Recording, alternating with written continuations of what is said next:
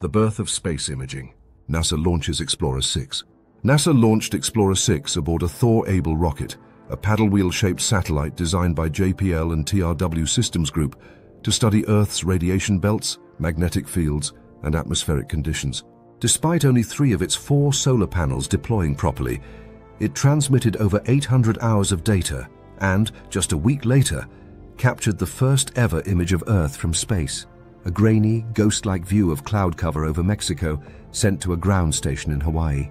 Behind this milestone were engineers like P.F. Glasser, G.J. Gleghorn, and A.K. Thiel, whose work laid the foundation for modern Earth observation.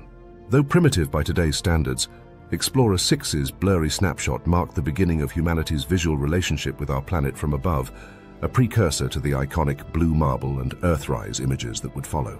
Thanks for watching. If you enjoyed this one, check out our channel and subscribe for more.